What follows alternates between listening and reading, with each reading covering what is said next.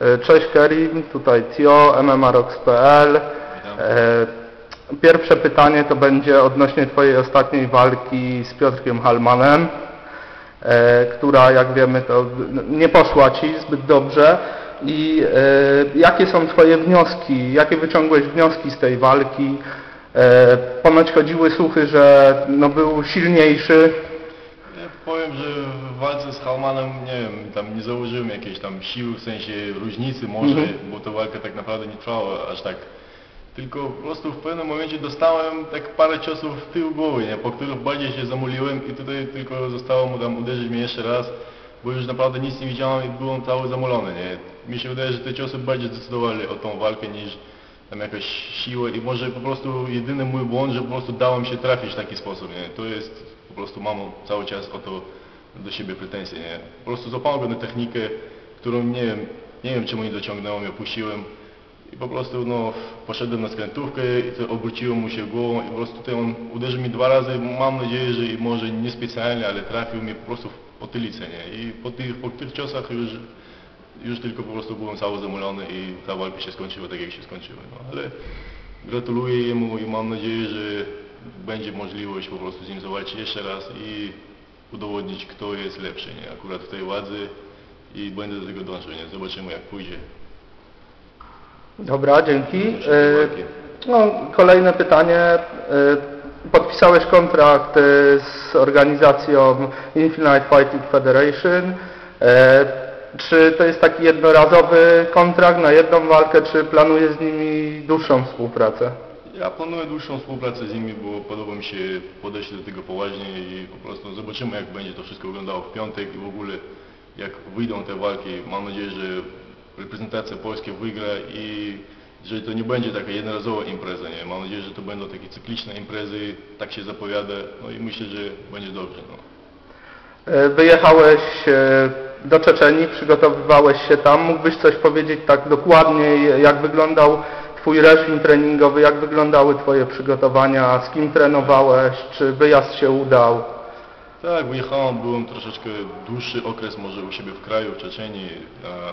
e, IFF, czyli Infinity Fighting Federation, tak, taką wspomagawczo wysłała mi trenerów do boksu, którzy mi też tak jakoś asekurowali, tam pokazywali jakieś techniki związane z boksem. U siebie oczywiście trenowałem dwa razy dziennie, naprawdę u nas jest poziom może nie na tyle MMA, ale tych walk i w ogóle systemu takiego bojowego, nie wiem, charakteru, podejście do tego wszystkiego jest troszeczkę inaczej i ciężej. Nie? I miałem możliwość e, sparowania z judokami, z dobrymi zapaśnikami, tak samo jak z bokserami i nie ma problemu. Także no i... No ja właśnie nie wiem dokąd, prawda? Bo...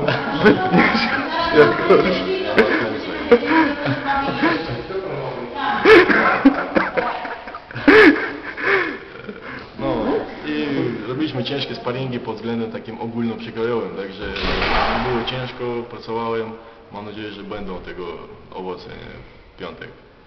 Jak oceniasz swojego doświadczonego przeciwnika? Mm, Czy widziałeś już jakieś jego walki, bądź rozmawiałeś z chłopakami, którzy walczyli z nim?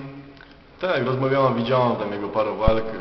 Jest doświadczony na pewno, jest doświadczony, twardy zawodnik, co może wychodzić też z jego, tego, jak to się mówi, ksywki, tak?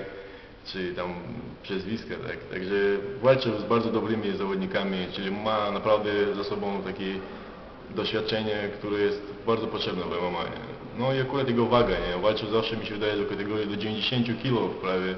No i zobaczymy jak jutro będzie wyglądał na wadze. Moja normalna waga to jest 78,5 czy tam maksymalnie 79 kg. Za bardzo nie muszę, nie rzucam, nie jestem stronnikiem tego. Myślę, że to tylko to może być ewentualnym problemem, że tam zbijanie tej wagi i później nabieranie tej masy, nie? Ale myślę, że będzie dobrze, nie? Teraz masz chwilę dla siebie, możesz podziękować komuś albo powiedzieć coś dla fanów. Dziękuję Wam jako takiej najbardziej chyba znanej stronie MMA Rocks i tam wszystkim tym fachowcom i profesorom od walk MMA, którzy tam zostawiają te mądre komentarze. Oczywiście wszystkich pozdrawiam.